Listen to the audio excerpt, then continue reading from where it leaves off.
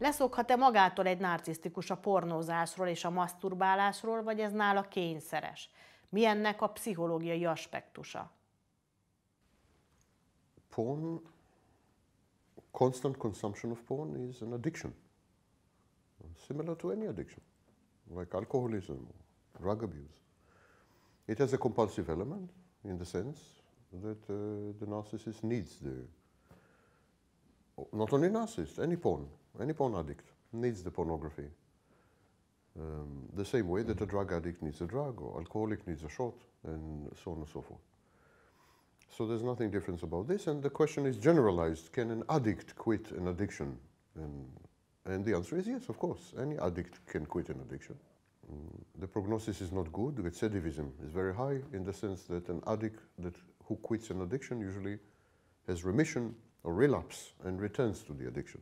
It's very common. 80% of alcoholics return to alcohol after they have quit alcohol, for example. That's 80% within one year. So porn addiction is the same. The thing with porn addiction is that it, um, it, uh, it's multidimensional. Uh, it provides answers to many problems and many questions. It provides, it has a physiological aspect, but also a psychological aspect, and it solves, it solves relationship problems. For example, imagine that the, the narcissist does not want to cheat. He's afraid to lose his partner or something. Porn is a solution. So porn comes handy, it's instrumental, and so on. The ch chances or likelihood of a porn addict um, ceasing to consume porn is very low because porn has no stigma. Stigma helps a lot. And also porn doesn't lead to adverse consequences. If you get drunk, you can end up having unprotected sex with a stranger. And then you get sexually transmitted disease. And then you can die if it's AIDS. I mean, the risks are high. It's a reckless behavior to drink. Um, drink is, has also a social dimension. Most drinking is social, actually. So people drink in society. So when they get drunk, they can do stupid things. If they do stupid things with the boss, I mean, the next day they're fired.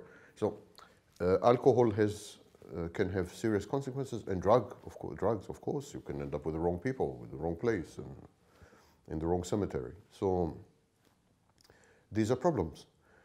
A porn is a solitary, uh, a solitary activity with zero risk, in effect, only benefits. So the cost, the cost of porn is zero. The benefits are total. And this, there is no social stigma. If, you, if you're an alcoholic, many people will look at you like that. If you're a drug addict, of course, including the police, will not be happy. But if you are, if you're consuming porn, everyone consumes porn. It's a thing everyone does. It's, so the incentives to give up porn are very close to zero, the social incentives, individual incentives. And so the, the prognosis of giving up on porn addiction are very dim. I don't think it's, I don't think anyone would do it. Szintén a praxisomban tapasztaltam, miközben a narcisztikusokat kócsoltam, hogy más és más a szexuális élete egy 20-as, 30-as, 40-es, 50-es, 60-as éveiben járó vagy a fölötti narcisztikusnak. Azt figyeltem meg, hogy a 30-as évek közepére már általában kialakul a kényszeresség és a függőség. A 30-as években már komoly szerepet kapnak náluk a szexuális devianciák, a fétisek, az extrém szexualitás, mint például a BDSM, az aranyeső, vagy a koprofília, az ürülékkel kapcsolatos élvezetek. De a pedofília, hebefília, ami a tinédzserekkel való szex, a látens vagy nyílt homoszexualitás, swingerség, azaz a többes szex, transvestitizmus, feminizáció, forszett szex is ide tartozik. Később kérdezlek majd külön-külön is ezekről, a különleges szexuális szokásokról, de addig is mondd el kérlek, hogy hogyan függ ez össze az életkorral. First of all, thank you very much for the arousing and exciting list. I would like to have a copy later, if you don't mind.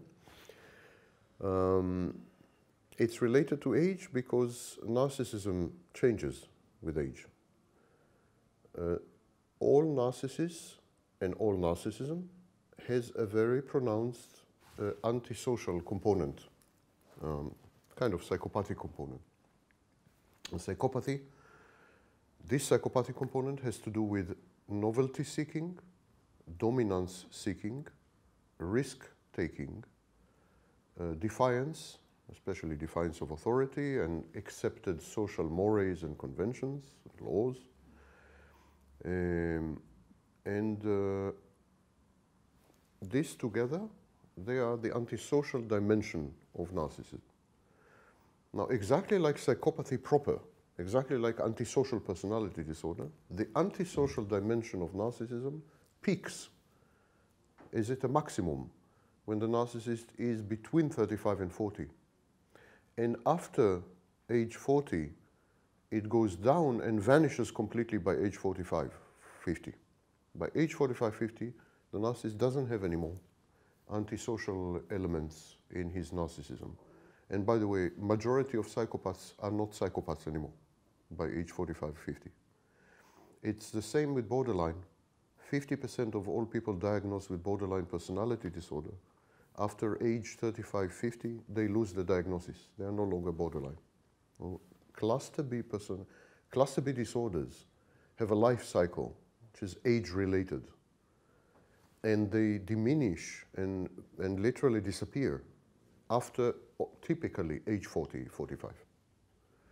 So this would explain this, what you have described. Behaviors which have to do with risk, with dominance, with defiance, with aggression, uh, antisocial behaviors, um, behaviors which have to do with subjugation of other people, dehumanization, objectification, all these behaviors, which are essentially psychopathic behaviors, they would peak in the 30s um, up to age 40 in a narcissist.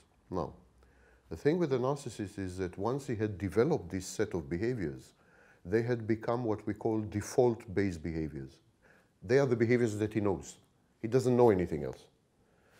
And even though he doesn't have the impulses anymore, he doesn't have the urges anymore, that's the only thing he knows. He's only sex. That's how he does sex. He, doesn't know better. so he continues these behaviors, but they provide less and less reward. They, they are less, less and less pleasant or less and less rewarding because the urges are not there. He just does it automatically because that's what he does. It's like someone who, when he was very young, uh, was eating only caviar. So when he grows up, he eats only caviar. And gradually, it's, uh, it's uh, you know, it's not tasty anymore, not interesting anymore. But he doesn't know, he never heard of bread, he never heard of sausages, he just knows caviar. So he continues to eat caviar all his life. It's the same with the narcissist. So narcissists after age 40 are what we call sex discrepant their sexual practices do not provide sexual pleasure and gratification and fulfillment. So they, because of that, they escalate. They, they, they are like drug addicts. First you take one shot, then two shots, then six shots to get the same effect. So they escalate the sexual behavior to, to try to recoup or re recapture the initial effect that they had when they were 30s. When, when a narcissist is 30, he has his first golden shower, and it's the most amazing, stunning thing in the world, and he remembers this. He remembers this experience. But then he's 50 and he has a golden shower, and it's nothing except wet towels, you know. And and he says, wait a minute, uh, maybe golden shower is not enough. Maybe I have to escalate and radicalize the behavior. Maybe I have to make it more kinky. Maybe I have to make it many many times. Maybe I have to make it in a group. Maybe so he tries to he tries to improvise on the basic behavior. He tries to augment it. He tries to embellish it, and decorate it, and ornament it, so that it recaptures the original excitement. But he, he always fails. So as he fails, he gravitates to more and more extreme behaviors, more extreme behaviors. So if he was into discipline, for example, in his 30s, so as a discipline in his 30s, a slap on the face would obtain the result by the time he's 50 or 60, he would demand extreme whipping, extreme spanking, blood drawing, um, uh, being hanged, you know, uh, shibari. Uh, he, would, he, would, he would go to extremes. It's still the same psychodynamic phenomenon, but he would need to escalate to, to exactly like a drug addict to recapture the, and, and it will never happen again. He will never recapture again. So narcissists are constantly sexually frustrated And, uh, and at the end of life, many of them withdraw completely. They become schizoid and they, completely withdraw from society, from people, from sex, from, from everything because of this. Uh, anyhow, that's the age, the, the age cycle.